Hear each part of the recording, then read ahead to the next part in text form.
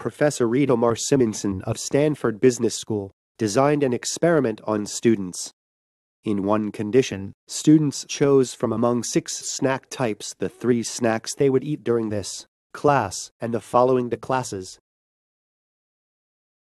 In the other condition, students chose their snacks on the same day they were to be consumed.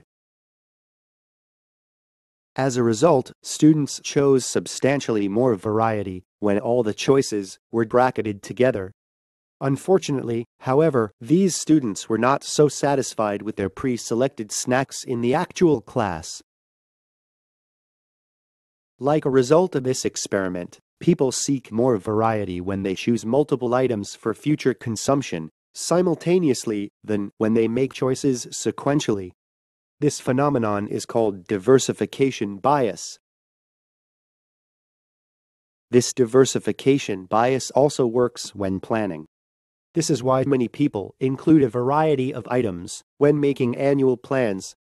This kind of plan seems like a very good plan that doesn't miss anything, but it's bound to fail. It is wise to execute one plan that I like and need and think about the next plan. Fantasy like a bucket list is very difficult to execute in the real world. If you live your life with 50 bucket lists, you may not achieve any.